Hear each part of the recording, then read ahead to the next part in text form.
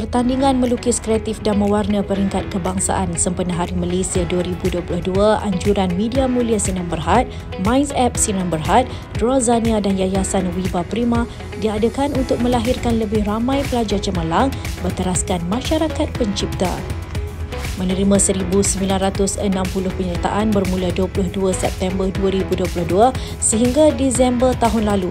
Sebanyak 17 orang peserta layak memenangi hadiah yang ditawarkan mengikut kategori yang ditetapkan. Okay, so that concept was very interesting. Memang sangat uh, interesting um, because kita nak uh, lahirkan bakat-bakat yang barulah, uh, terutamanya generasi yang muda.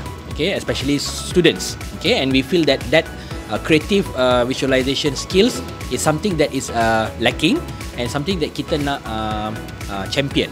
Okay so that we can create a, a future generation of Malaysia that is more creative people.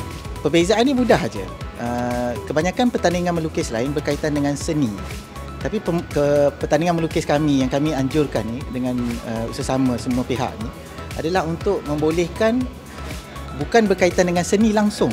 Pelik kan dia bukan berkaitan dengan seni langsung ia berkaitan tentang keupayaan kita mencipta sesuatu idea baru dalam perkembangan sama, empat orang pemenang utama mengikut kategori umur membawa pulang sijil penyertaan, iPad dan trofi.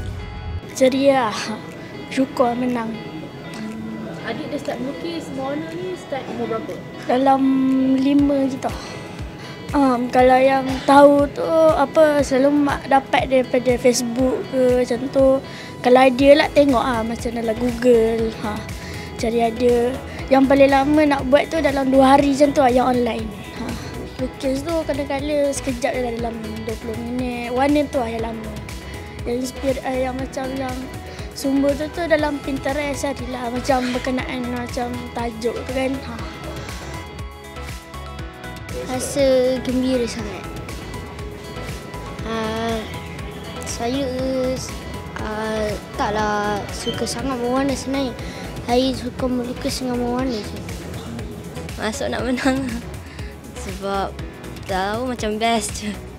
Lepas tu masuk tahu-tahu menang. Masuk kelas yang setiap minggu tu. So masuk pertandingan ni. Nah, menang. Kelas dia ajar apa?